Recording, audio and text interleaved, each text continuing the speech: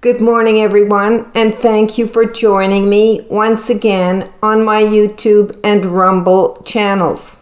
Today is April the 11th of 2024, and I'd like to share another word with you from the Lord today. Just a note to those of you who continue to leave comments on these videos. I thank you for your support, for words of encouragement, and I thank you for your interaction to bless others who are also participating. May the Lord release his richest blessings upon your life and cause you to grow and prosper in him. I hope you are all doing well, that you are anticipating great things from a great God that you are enthused about the season that we are living in. If you have been following my channel, and if these words have been speaking to you, I am sure you are being encouraged because God is still in control. He has a good plan for us and for His world. And so we need to take hold of the words of encouragement that He brings to us. He wants to speak to us. It's a still small voice, but we need to listen to hear what is on His heart because He is bringing His plans into fruition and He wants His people on board with Him, coming into agreement with what He is doing and not with what the enemy is doing. As I have mentioned in the past, when I began journaling and the Lord began to speak to me, He made it clear to me that these were the end times. And the message that He would want me sharing was to encourage those listening that He is coming soon and sooner than we think. And so, this message today is another message that gives us insight into the times we are living in, what the Lord's plan is, and how He intends to fulfill it. This word today is titled, I am taking my rightful place among the nations. May you be blessed as you hear it. I'll begin by reading scripture. Psalm 33, verses 10 through 11. The Lord foils the plans of the nations. He thwarts the purposes of the peoples. But the plans of the Lord stand firm forever, the purposes of his heart through all generations. This scripture passage ensures us that God has a plan, and though the enemy may oppose him in it, he will foil the plans of the enemy to accomplish his purposes and his promises to the generations. 1 Corinthians 15, verses 24 through 25.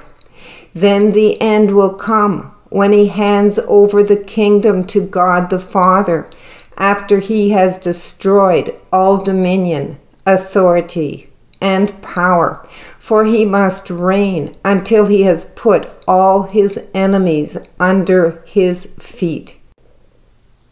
This passage of Scripture gives us insight into what God's plan is, and that is to put all his enemies under his feet. Revelation 11, verse 17.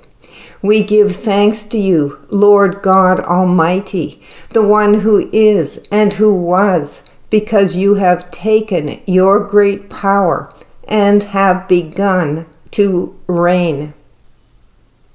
This scripture verse gives us more insight it acknowledges that the Lord God will reign in the earth. Revelation 5, verse 10. You have made them to be a kingdom and priests to serve our God, and they will reign on the earth. This scripture encourages us who believe in the Lord Jesus Christ that we will reign with him. I'll begin reading this word. Your sons and your daughters shall prophesy, says the Lord. They shall gain ground, for I am coming in vengeance against those who have held them back, against those who have caused them to stumble. I am erecting a monument to signify the end of an era and the beginning of a new day when life and liberty shall be extended to the captives. This is a day of war, for I have declared war upon the nations, and I will wield my sword unrestrainedly to cut down and to cut off entanglements with the world, and I will uproot and I will tear down according to my good pleasure.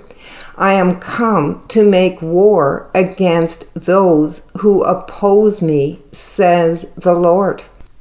I have heightened awareness of my presence. What you sense is me. I have come to subdue the earth, to bring everything under my feet.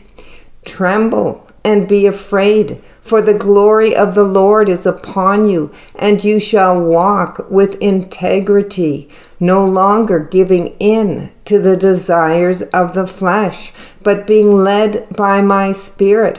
For I have released my Spirit in the earth in an unprecedented way. Trust in the Lord God with all your heart, and do not be concerned about the affairs of men. I am well able to cause a rapid increase in those things promised. I am able to deliver, and deliver I will, says the Lord. For I shall oppose those things that have kept back the inheritance. I shall break through in ways totally unexpected to bring forth the promises made to this generation, that I am raising up a people after my own heart, David's who love me and follow my lead. This is the day of fulfillment of every promise, from the smallest to the greatest, and I shall execute my will unopposed. So widen your boundaries, extend your tent pegs. I am giving you more territory, more influence, more credibility. I am thrusting you out of the comfort zone and moving you into circles and positions of authority. You shall call down the high places and raise up the low. You shall raise up a banner of peace and love, of joy and salvation. Hearken to my voice. Hear the voice of the Lord. Listen to the still small voice and do not disregard it. For I am raising up a mighty army of warriors in this day who will do battle in the land, taking back all that belongs to them. Their children shall come out of oppression and depression and be brought to streams of living water to be refreshed. Ask and it will be given. Seek and you shall find. Knock and the door shall be opened. For I am opening doors of opportunity at an unprecedented rate. I am pulling down strongholds across the land and sending in my battalions to completely annihilate the enemy. Just as David slew Goliath, so shall my army slay the giants in the land.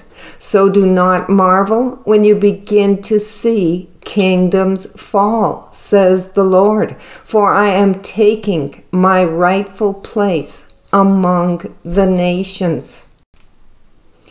As we can see in this word today, the Lord is taking his place, his rightful place. the place he has always planned to take, and that is to subdue the nations, to rule in the earth, and to take his inheritance, which is a people set apart for him, without opposition. He is telling us that he has declared war on his enemies and that he is bringing forth his promises to this generation, that he is raising up a mighty army of his warriors to take down the high places because he has given us the authority to tread upon the enemy and to take back all the enemy has stolen from us. The Lord is encouraging us to expect to see kingdoms fall, ungodly kingdoms, kingdoms that have opposed everything that stands for God.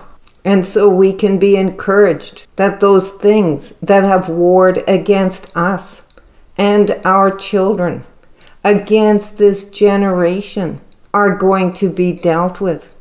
The Lord is moving in and he is taking his rightful place among the nations. He is subduing the nations and bringing everything under his feet. May we be encouraged that we are going to see change, great change amongst us, as the Lord ends the enemy's reign of terror upon us and ushers in a new day of life and liberty. I hope this word today gives you hope that the Lord is faithful to his promises and that he is fulfilling his promises to this generation of those who love him because his plans stand forever. Thank you for listening today. Have a great afternoon, and we'll talk to you again in the next video. Love and blessings. Bye for now.